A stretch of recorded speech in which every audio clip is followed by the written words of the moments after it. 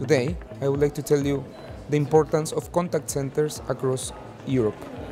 Contact centers represent 3.2 million jobs. In our contact center, we are able to produce different type of transactions for our clients. Inbound calls, outbound calls, chat, emails, back office processes. Regarding inbound and outbound calls, we are able to produce 1 million calls per year. This represents a lot of speech data.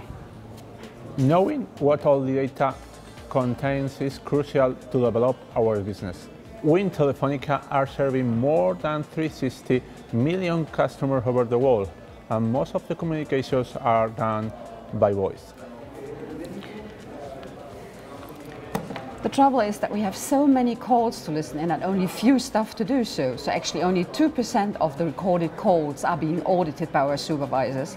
So we actually know very little what is in the calls. And that's why we started the Bison project. We wanted to do something useful for contact centers in many languages and also take care about the big speech data.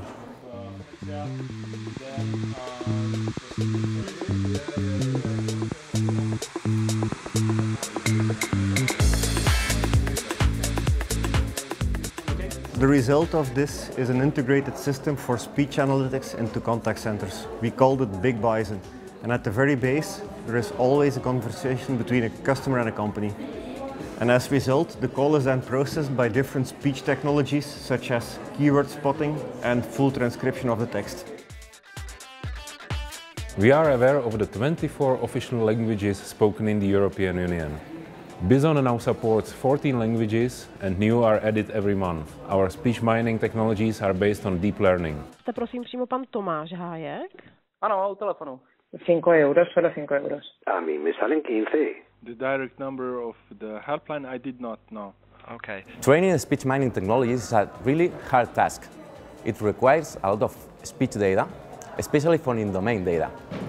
I really appreciated that our call center partners understood it from the very beginning of the project. They helped us a lot in collecting a really huge database of different languages. However, it's not just a matter of technology.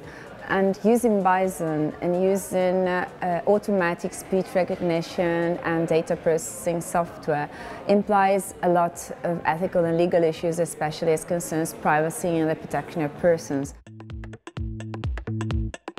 The legal requirements are directly reflected within the software, where by default we are working with the privacy by design principle, and this is how we can ensure data protection within the Big Bison environment. Having transcribed script is not at all. Miners are not interested in each individual call, more than in trends and uh, performance in all the calls. So then we have also created the dashboard builder, and by means of this tool, fully integrated into the Bison environment, users can create their own reports and portals to have access to all data available. When working for some clients, we are also interested in identifying the speakers. When working with money, credits, passwords, we need to know who we are talking to. In Bison, we are therefore also working on voice biometrics. Banks and financial institutions are interested in this technology, since it helps to prevent frauds. In summary, we really enjoyed working together. And I think we've done uh, interesting things both in research and in the integration of real systems.